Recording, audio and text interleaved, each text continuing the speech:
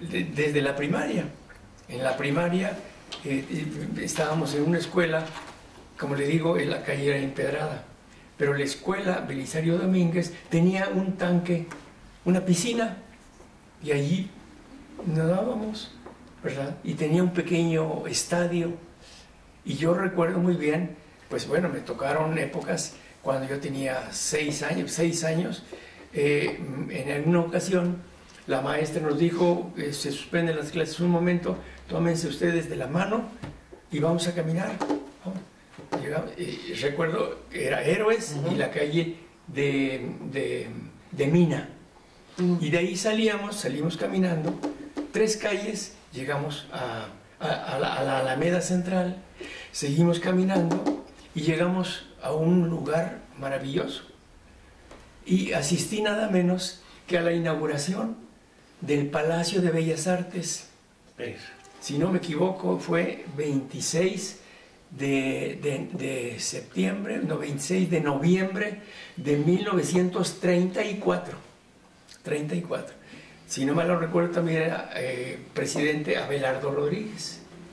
Por supuesto que yo no, no recuerdo que, entré, que haya entrado al salón de, espectáculos, ni que haya habido una inauguración.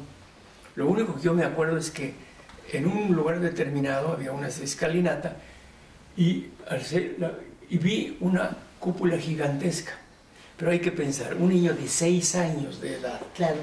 que de pronto lo llevan a un lugar así, voltea y ve eso, se va a quedar grabado, y ya después, eh, pues eh, atando información, pues era nada, fue nada menos que la inauguración del Palacio de Bellas Artes. Ya luego vi la placa, eh, ya, pero muchos años después. Claro, ya fue la, curiosidad que lo llevó ahí a ver qué es aquella imagen. Y por cierto, en ese Palacio de Bellas Artes con frecuencia se lo prestaban para las actividades sociales, las actividades escolares. Varios de los de, las los concursos de oratoria. y también ahí el no porque ahí perdió uno. Ah perdió uno sí. El chamaco que quedó en primer lugar lloró Sí, y ni modo. A mí eso de las lágrimas no se me da. No, ¿verdad? Claro. Pues sí, una cosa, y, entonces le tuvimos cariño, pues quedaba cuatro cuadras de la escuela. Fui ya después muchas veces al Palacio de Bellas Canté en el Palacio de Bellas Artes.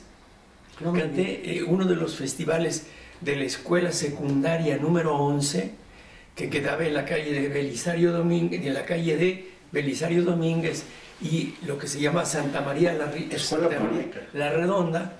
Antes escuela pública de gobierno. Escuela pública, claro. yo solamente eh, estudié en escuelas públicas. No tuve, pues, no digo si el honor o no, pero jamás supe lo que era pagar una colegiatura. Y todo eso se lo debo naturalmente a los gobiernos de esas épocas.